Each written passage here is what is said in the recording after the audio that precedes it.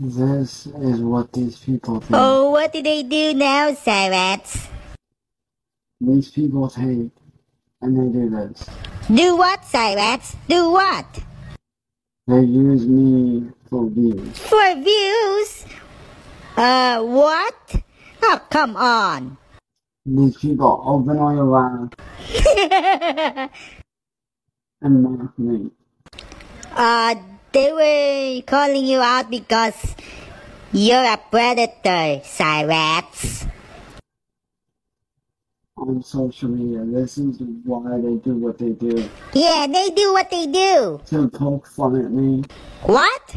to laugh at me, Haha, and to dehumanize me. cause you're a predator. All for money, clicks, and views. That's not true.